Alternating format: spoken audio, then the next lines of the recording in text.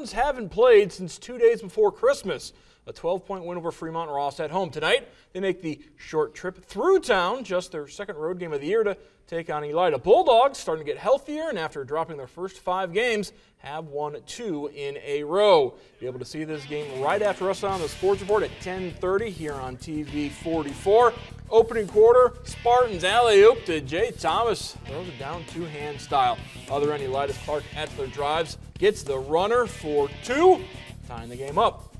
Spartans Anthony Brown shine. Isaac flies it. Three is good. Lima Senior up by five. Later in the first quarter, Josh Press.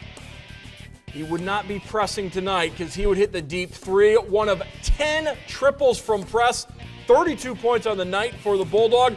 Xavier Simpson, though, with the answer, coast to coast, gets the lay-in for the Spartans.